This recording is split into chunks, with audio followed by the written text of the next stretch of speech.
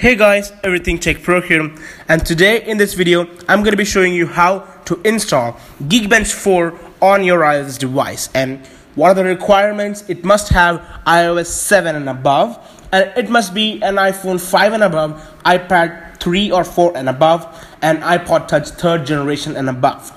So Geekbench is like uh, your benchmark testing app which tests how fast your device is, how fast the operating system of your device is. So the method which I'm going to show you is semi-tethered, which means that once you install the Geekbench, it won't last more than a week or maybe 10 days at the max. And you need to redo this step again and again after it just stops working. So what happens after it, uh, after the validity goes up, the app won't open, it will crash. And you try to open it n number of times, it'll crash. So the second thing which you require is a computer. It may be a Windows or a Mac. So you could have any of the OSs. So the third thing which you require is a Cydia Impactor and the Geekbench 4 IPA file. For both of them, I'll be leaving the links in the description below, so you could get the Geekbench and the IPA file from the respective links on the bottom. And the other thing which you need is an internet connection. So because once you install the app, it's going to ask you the iTunes or the Apple ID and password. So what you do is when you open the Cydia Impactor and connect your device, you should be seeing the name of your iOS device right there, whatever it is. By default, it's generally iPhone, but if you have renamed the, the device, it's going to be showing something what you have renamed. So if you have seen my iTransmission video, it's just the same. Drag and drop the IPA file, and then it's going to ask you the username and password.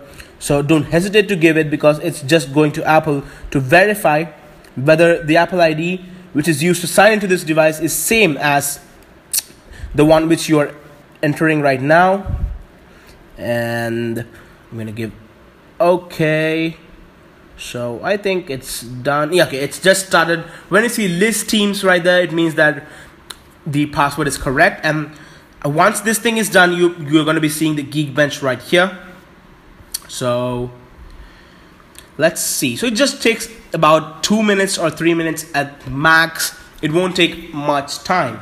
So let's see right here. It's signing the IPA. So let's see. Okay.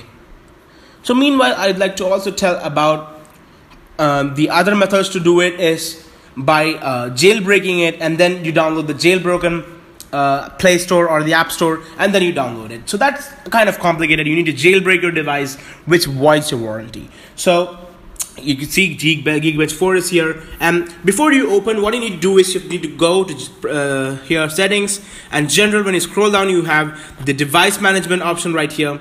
And when you tap that, your uh, you'll see your email address as a developer app right here. we When you tap here, and then you need to trust it and then when you, once you're done, you could open the Geekbench. So here it is. It shows your model, OS, and the processor which the device is running, and the RAM. So you could go here and run the benchmark test.